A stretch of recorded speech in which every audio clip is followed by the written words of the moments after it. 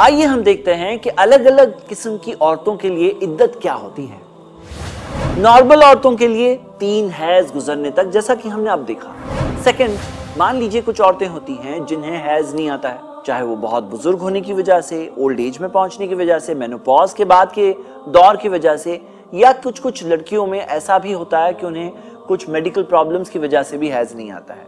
तो उन्हें अगर हैज़ नहीं आ रहा है तो थ्री मंथ्स का पीरियड है उनके लिए, यानी थ्री मंथ्स तीन महीने उनकी इद्दत है। तीसरे प्रेग्नेंट औरतों के लिए जब तक डिलीवरी ना हो जाए।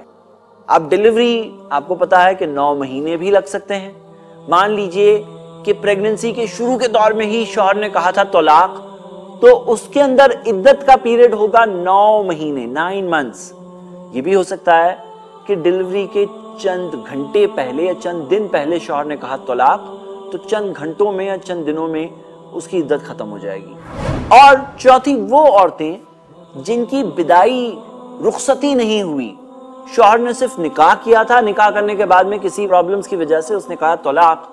तो उन लड़कियों की इद्दत होती ही नहीं है। कुरान सूर्य अहजाब सूरा नंबर 33 आयत नंबर 49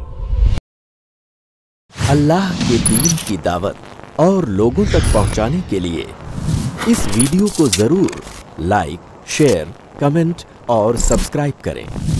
आपके इस चैनल को और बेहतर बनाने के लिए आपका साथ ज़रूरी है। आई प्लस टीवी बेहतर ज़िंदगी के लिए। अपने केबल या डीटीएच ऑपरेटर से आई प्लस टीवी आज ही डिमांड करें। I plus TV free to air और इंडियन रजिस्टर्ड चैनल है।